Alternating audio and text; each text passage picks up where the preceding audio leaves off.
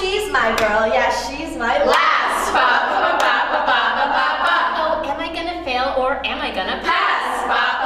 Control Tops was started by a lovely lady named Charlie Dinkin, and I think she saw that she was surrounded by these incredibly funny, talented women, um, and she wanted to create a place and a space for these women to be able to just have fun together and perform together and create a different kind um, of improv. You guys are hell and I don't know how you have any friends. We're actually fire and ice.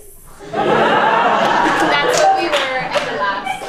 Halloween. Yeah. As female comedians, the nature of that realm of comedy is to really support one another, not just in scenes or during shows, but also as friends. We have so much fun together, and the improv takes on this other kind of dynamic feel to it that I don't know if necessarily it would be as present if it wasn't Lady Power Improv. Lady Prov, as we like to call it. Control